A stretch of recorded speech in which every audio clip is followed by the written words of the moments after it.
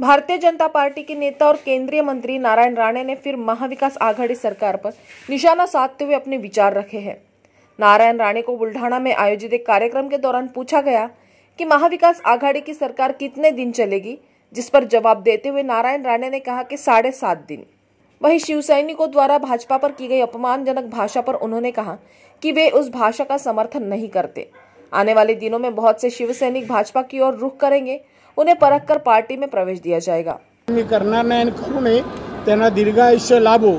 पण एक आहे की मु- महाराष्ट्राच्या मुख्यमंत्र्याची गुणवत्ता त्यांच्यात नाही. राज्यातलं सरकार टिकेल किती दिवस? साडेसात. साहेब राज्यातले सरकार किती दिवस टिकेल साडेसात. आता मी त्या शब्दाचं काय हे करणार नाही सपोर्टिंग काय करणार नाही. पण अनेक सैनिकांचं ते मत आहे. त्यामुळे आता सगळेजण येणाऱ्या दोन वर्षात भारतीय जनता पक्षाकडे येतील आणि आम्ही सगळ्यांना तपासून भाजपमध्ये प्रवेश देऊ.